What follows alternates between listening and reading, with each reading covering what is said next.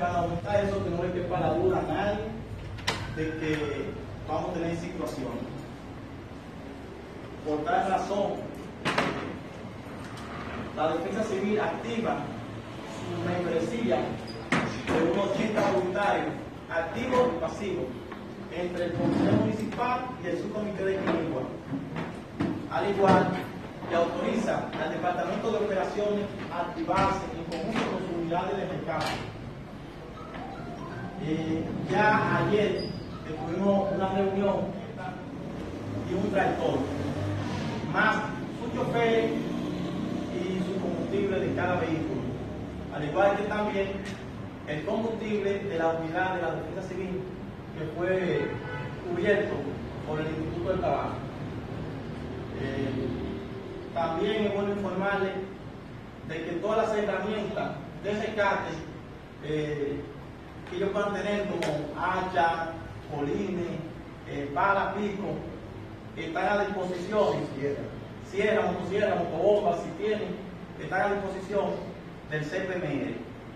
Eso es un, algo alentador eh, que tenemos. Estaría, nos estaría haciendo falta lazos, que no tenemos lazos suficientes. Tuvo el tiempo suficiente, sábado hacia atrás, más de ocho meses, años, días, libre, gozando, paseando, para que nosotros le podamos. Tenemos el primer obstáculo legal que, que Medio Ambiente nos incautó en Santiago a unas herramientas un camión porque estaban dando un árbol sin el permiso del medio ambiente. El que quiera corte tiene que la forma privada y pedir previamente. Nosotros estamos dando un de eso, porque las herramientas son para la emergencia. Si nosotros salimos posterior al evento y hay una casa que está aplastada por un árbol, vamos a usar la herramienta de la Civil o los de la Policía Municipal, de la instalar de socorro en el lugar donde corresponde a cada uno de ellos, para que se unan a, la brigada, a los de todos los organismos de, de socorro. Pero mi preocupación está, anoche yo llamé a Verso, al programa donde estábamos, es los centros de recursos. Usted dijo un programa que había plan A, eran las casas de, de los, de los familiares, plan B, que las ponemos a la disposición de la defensa civil y de aquí del alcalde, de nuestro inmediato, para cualquier eventualidad que que, que realizar. Eh, tenemos un personal disponible de 26 personas, 16 tienen horario de comunicación. También tenemos dos fases de trabajo, como a hacer ahorita diciendo. Vamos a la primera en prevención, con personal, y la segunda vamos a actuar después que pase el evento.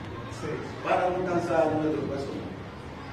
Entonces, en cuanto a personas que se nos han acercado, para que lo vayan notando, Diego Fernández, el hijo de esta noche ha ido incrementando ya la máxima eh, magnitud de este fenómeno.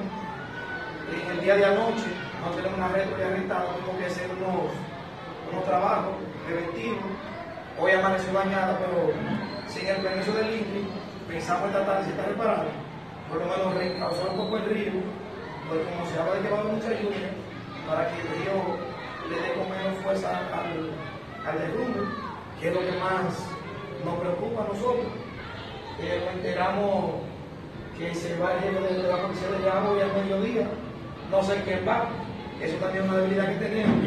Y tenemos también una situación con, con la persona que nos estaba dando asistencia los bomberos, por lo que por eso lado tenemos un poquito cojo, pero sí, eh, de salud pública me informó la enfermera que de allá, que yo está en la, la, disposición de permanecer en el centro de salud para que cualquier emergencia se quede el primer auxilio allá, eh, hacerlo allá y luego salir. Eh, la ambulancia que tenemos allá también está a disposición y un cambio que tenemos también con algunas herramientas lo que tenemos para, para trabajar en cualquier eventualidad. Tengo algunos números de ustedes para estar en comunicación.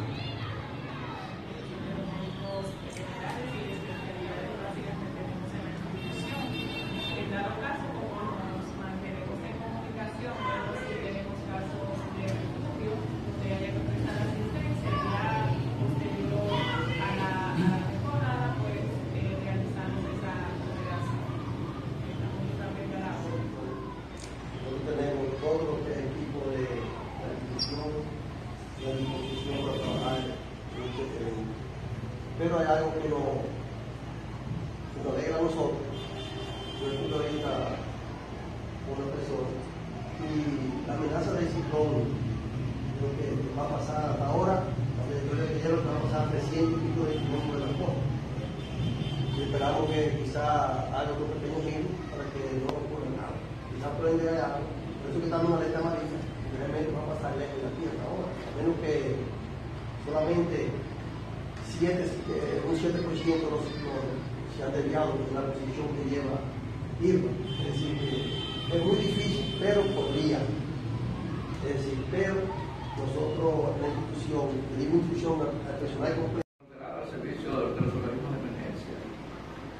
Algo quería decir, hablaba ahorita de que como que no se puede ir a los lugares. Creo que es importante que nosotros vayamos, ya aquí, aquí sabemos dónde están los problemas. ¿Qué debemos hacer? Ir donde esa persona, decirle, amigo, usted no puede estar ahí, tiene que buscar, usar el plan A, un vecino, un amigo, debe de ir. Entonces creo que podemos hacer eso, porque no es fácil poner problemas fiscal para allá. Debemos hacer eso con relación a eso, no se interpretó lugares vulnerables. Ahora, lo que no se va a hacer es la, el el- la evacuación. Hasta que no se nos dé una orden. eh, tenemos que juntarnos de eso para, distribuir el personal. Entonces, también tenemos que dar seguimiento a la, a la mata seca. Después, cuando venga el viviente que caiga en la casa, lo van a decir, se lo dirigimos. Vamos, chequear si están secas, amén. Vamos, salimos de eso. Tenemos acá para eso. Tiene la parte operativa de todo lo relacionado con acciones que se encaminan. Y además, informar que esta tarde de eso yo estoy convocando a los empleados del ayuntamiento, sobre todo a los varones, y las hembras que quieran información de orientación a la población. Y por otra parte, decirles que Villarosal es un, un municipio, Palmar Arriba, Limón forma parte del municipio y que lo miremos como un todo. Es decir, que si desde aquí las instituciones pueden ir a socorrer al Limón, que no se escative ningún tipo de esfuerzo. Igualmente, si se hace necesario de que se vaya a Palmar arriba, no hay que escatimar los esfuerzos para que se pueda eh, socorrer a cada uno de los rincones del municipio de Villarosal. Estamos en contacto permanente y las informaciones fluirán a través de, la defensa civil fundamentalmente. Gracias y estamos en contacto permanente.